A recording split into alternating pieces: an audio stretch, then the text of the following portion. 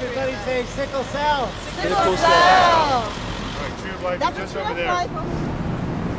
And this tree's uh, planted in honor of those who give. And so even though we may die, we're all going to die sometime, make sure you uh, register so that organs and parts of our bodies can be used to give life. Uh, my son Christopher Cutler passed away two years ago tomorrow, February 18th, at Sick Kids. Um, he died from CPVT. Uh, it was undiagnosed, didn't know he had it. Quality of life Um, to get better. We donated his organs. strength We of the saved four people's lives, gave two young teenagers eyesight, and he's in those who are 16 different people with his bone donations so far to date. Dear Heavenly Father, I thank you for who you are.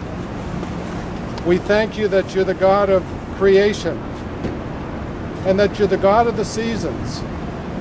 And through difficult times and rough times, even in the natural world, through the seasons, we know that you're there. And we're glad, oh God, that you are with us through the seasons of our lives. And some of those seasons are very painful and very, very difficult, and at times end in tragedy, at times end in death.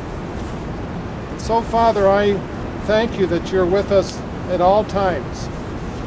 And for this particular organization, Lord, they're doing a wonderful thing.